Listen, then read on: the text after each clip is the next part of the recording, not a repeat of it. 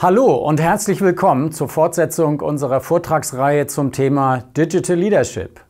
Vielleicht kennen Sie mich ja schon aus dem Video zur Einführung in die digitale Transformation oder von anderer Stelle. Falls nein, mein Name ist Erik von Düsterloh. Ich bin Leiter des Department Wirtschaft der HAW Hamburg, der zweitgrößten Hochschule Hamburgs.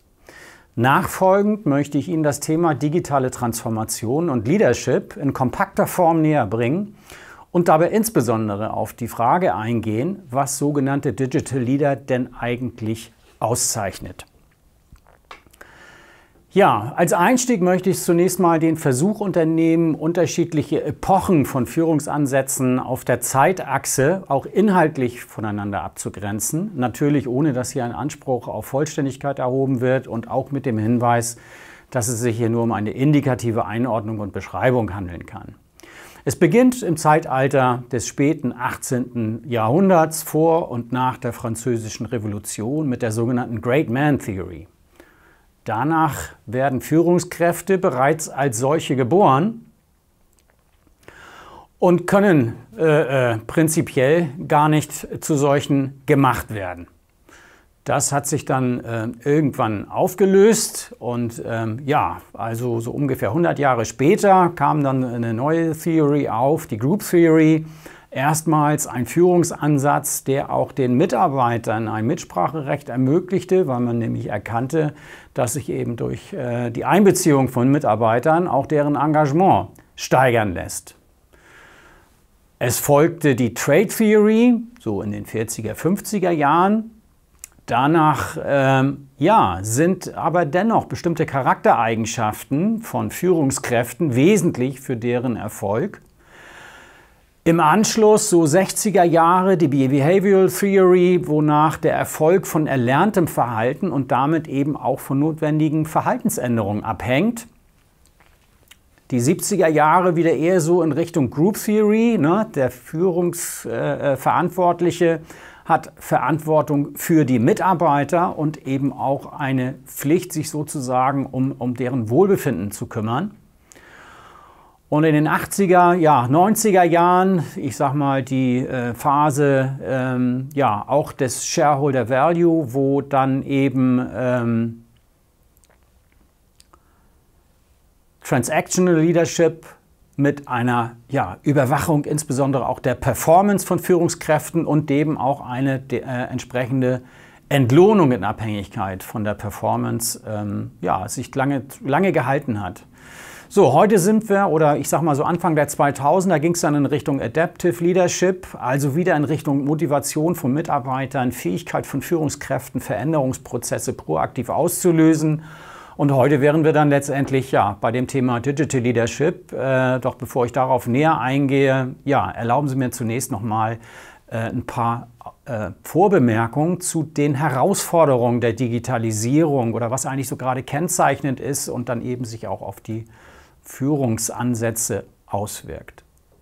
Ja, das Stichwort äh, lautet, die Welt ist VUCA. Vielleicht haben Sie ja äh, schon mal davon gehört und diesen Begriff äh, irgendwo vernommen. Vielleicht haben Sie sich auch gefragt, was bedeutet denn das jetzt bitte?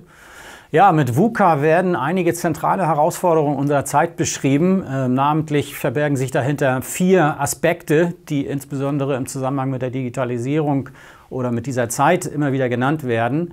Das V steht dabei für Volatilität. Das U steht für Uncertainty, also Unsicherheit. Das C steht für Complexity und das A für Ambiguity, sprich Mehrdeutigkeit.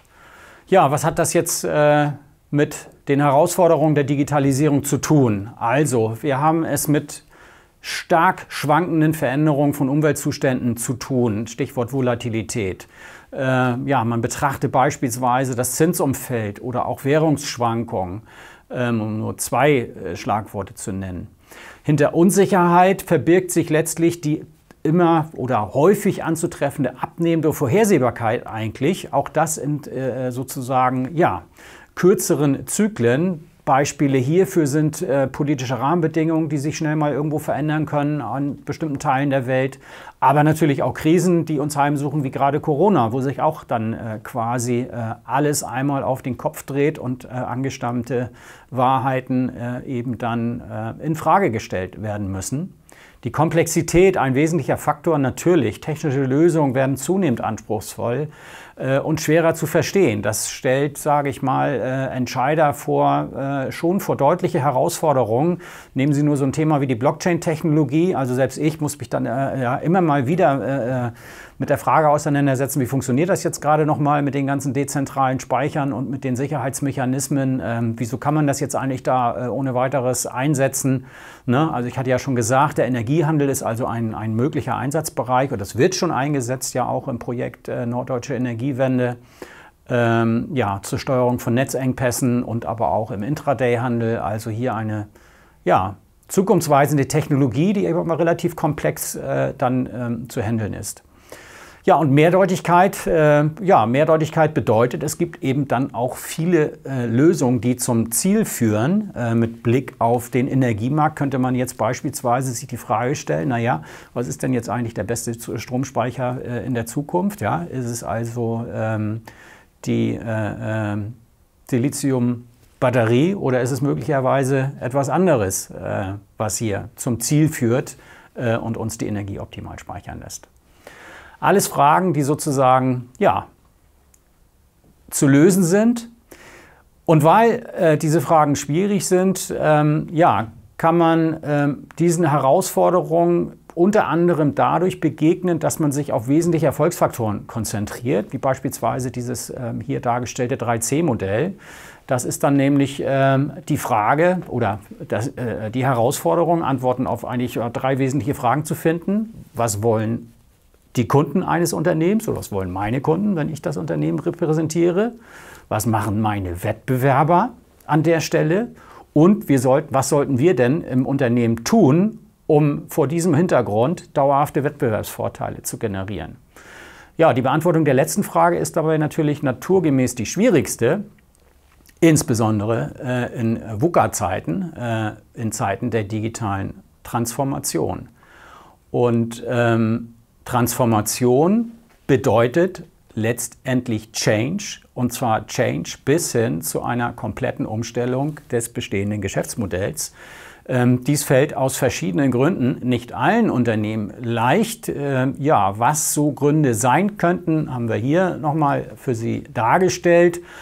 Also es äh, wäre natürlich möglich, dass Sie eine ältere Generation an Entscheidern im Unternehmen haben, die eher konservativ ticken und möglicherweise noch gar nicht das richtige Verständnis für den digitalen Wandel und für die damit zusammenhängenden Herausforderungen haben und darauf warten, dass das dann die nächste Generation irgendwann für sie übernimmt. Die Frage ist halt nur, ob sie noch genug Zeit äh, haben als Unternehmen darauf zu warten dann kann natürlich die Transformation eines Geschäftsmodells äh, auch dazu führen, dass sie hohe Risiken eingehen müssen, hohe Investitionen tätigen müssen bei natürlich ungewissem Marktausgang, weil sie möglicherweise äh, äh auf eine Technologie setzen, die dann sich nicht als die äh, einzig erfolgreiche oder als die best erfolgreiche herausstellt. Sie müssen viele Prozesse umgestalten und ähm, auf Automatisierungsfragen ähm, Antworten finden. Auch das äh, ja, schreckt eben manche Unternehmen ab, äh, bis hin ja, zu übergeordneten Themen natürlich, dass eine Unternehmenskultur an sich gerade äh, oder äh, wenig Raum für Innovation bietet, weil man eben in einer ja, altangestammten Branche arbeitet, wo sozusagen dynamische, äh, disruptive Prozesse in der Vergangenheit eigentlich kaum eine Rolle gespielt haben. Demzufolge ist es äh, ja die Aufgabe eines Digital Leaders, ähm, sich nicht lange mit diesen Hindernissen zu beschäftigen und mit der Frage, warum jetzt die Unternehmenskultur möglicherweise äh, dazu führt, dass wir keine Veränderungen vornehmen können, sondern ähm, diese Veränderungen ähm, auch gegen Widerstände umzusetzen. Und ähm, ja, hier haben wir mal eine kleine Definition versucht, äh, äh die Definition von Digital Leadership mal vorzunehmen. Und ähm, ja, wir würden sagen, dass Digital Leadership die Fähigkeit von Führungskräften ist, in Zeiten der Digitalisierung die richtigen Maßnahmen und Entscheidungen zu treffen, Das ähm, hat so auch der Petri im Jahr 2019 in seinem Buch ähm, ja, definiert. Entscheidungen zu treffen und unter Nutzung digitaler Technologien die Wettbewerbsfähigkeit eines Unternehmens zu stärken. Jetzt kann man sagen, ja gut, okay, gut gemacht, äh, Herr von Düsselow, aber was heißt denn das nun konkret in Bezug auf das äh, Führungsverhalten, was an der Stelle äh, anzulegen wäre oder anzulegen sein könnte? Hier haben wir einmal versucht darzustellen, wo denn der Unterschied zu Leadership äh, äh, im Vergleich zu vielleicht dem klassischen Management oder ja, der eine oder andere wird sagen, äh, na, das ist uns so, so Merkmale eher des operativen Managements. Aber sei es drum, lassen Sie mich das einfach mal gegenüberstellen. Ähm, also ganz oben fängt es schon an. Der Digital Leader, der hat äh, in den allermeisten Fällen einen Fokus auf den Menschen und weniger auf die Prozesse, das wäre dann eher ein Thema sozusagen für das operative Management. Der Digital Leader hat ferner die Fähigkeit, äh, den Blick deutlich nach außen zu richten, während eben andere traditionelle Manager vielleicht in erster Linie damit beschäftigt sind, den Blick nach innen zu richten und eben weniger wahrzunehmen, was um sie herum passiert. Ein Digital Leader ist in der Lage, eine Vision zu artikulieren und eine Zukunft zu kreieren, also Menschen zu inspirieren und mitzunehmen, während ein traditioneller Manager möglicherweise eher an der, ja, an der Ausführung von Plänen hängt und an der Verbesserung der, Klammer auf, überholten Klammer zu Gegenwart. Ähm, der Digital Leader oder der Leader sieht dann in dem Zusammenhang auch eher den Wald als äh, nur die Bäume. Er inspiriert, vertraut und fördert äh, seine eigenen Mitarbeitern und weist eben nicht nur an und kontrolliert. Äh, ein Leader ja, zeichnet aus, dass er die richtigen Dinge tut, anstatt die, richtig, die Dinge richtig zu machen. genau. So, ja, ähm, was prägt Digital Leader denn noch? Äh, wie kann man, äh, wie kann man diese, diese Aufgabe, diese Herausforderung noch beschreiben? Also ich hatte es bald gesagt, es geht natürlich, es geht zuallererst darum, Veränderungen voranzutreiben, also die Probleme der Zeit zu erkennen und sie in, ja, in Veränderungen zu überführen. Dazu sind ein paar Dinge erforderlich. Dazu ist es erforderlich, auch Leistungen anzuerkennen.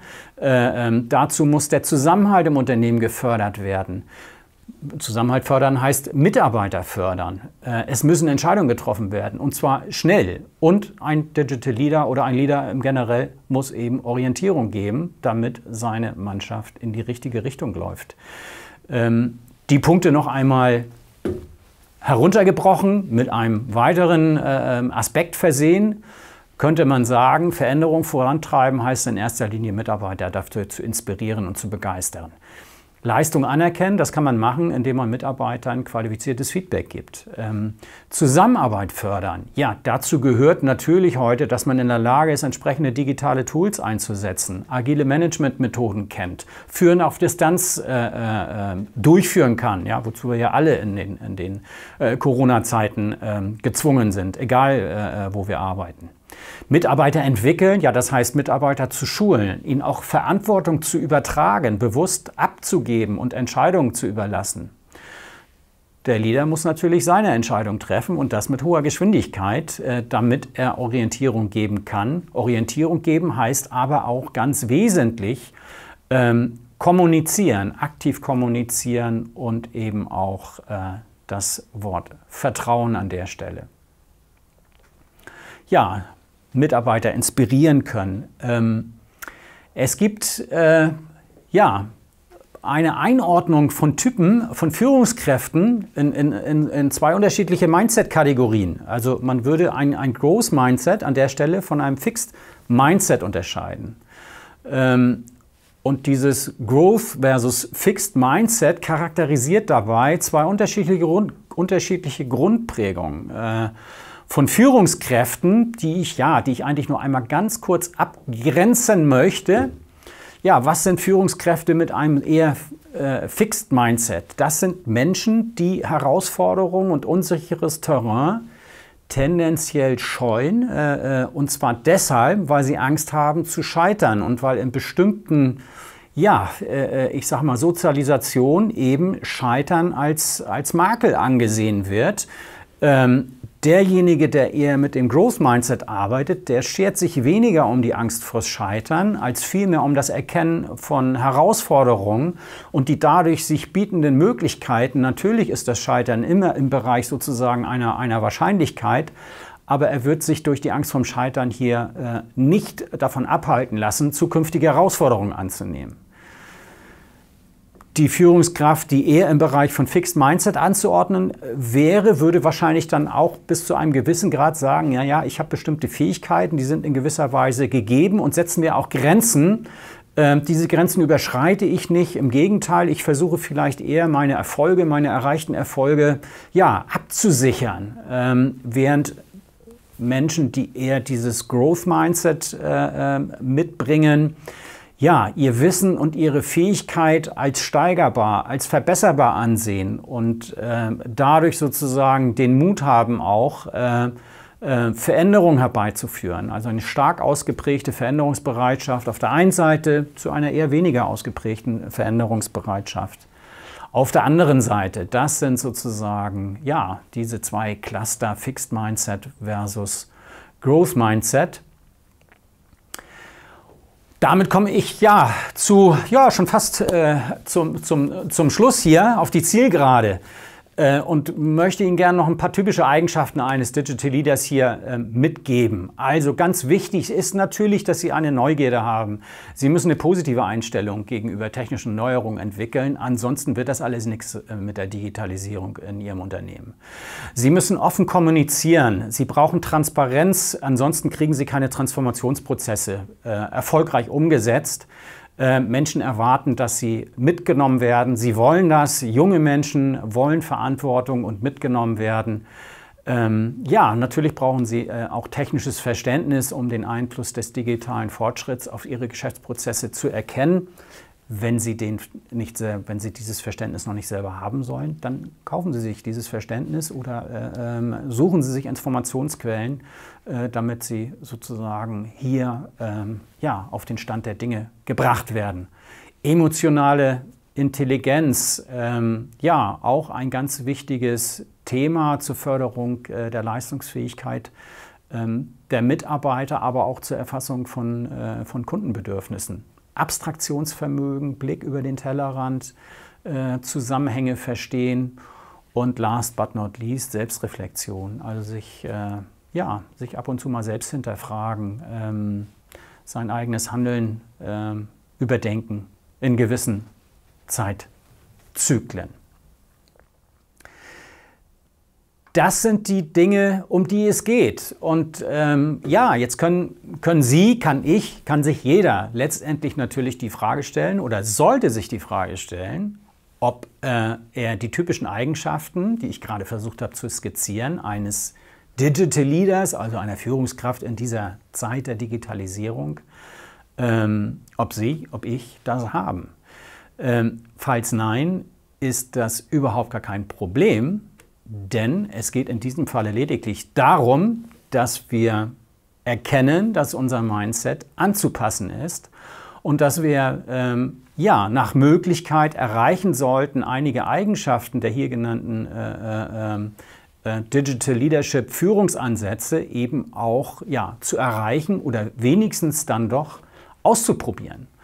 Und ähm, wie kann so ein Mindset-Shift denn nun gelingen? Also es dürfte Ihnen gelingen, wenn Sie in der Lage sind, eine Unternehmenskultur zu schaffen, in der Fehlerkultur, Vertrauen und Transparenz eine hohe Bedeutung haben. Ähm, es dürfte Ihnen gelingen, diesen Mindset-Shift durchzuführen, wenn Sie einmal agile Management-Methoden auszuprobieren, wie beispielsweise Design Thinking Tools, also Digital Customer Journeys zu entwickeln oder sogenannte User Stories zu identifizieren. Ähm, dafür kann man Innovation Labs äh, einrichten, in die man auch die Mitarbeiter einlädt, äh, an diesen äh, neuen Instrumenten mitzuwirken. Und natürlich, äh, äh, das ist immer so, das ist nichts Neues, äh, man sollte auch versuchen, von anderen erfolgreichen Beispielen zu lernen oder sich auf seinem Weg auch einfach mal coachen zu lassen, Feedback einzuholen, ähm, ja, ein Auge von dritter Stelle auf das eigene Handeln ähm, richten zu lassen. dann dürfte Ihrem Erfolg als Digital Leader aus meiner Sicht eigentlich nichts mehr im Wege stehen. Dafür wünsche ich Ihnen äh, ja, viel Mut, viel Kraft äh, und natürlich viel Erfolg. Ähm, ja, ich darf mich bedanken und äh, wünsche Ihnen alles Gute. Bis demnächst. Vielen Dank.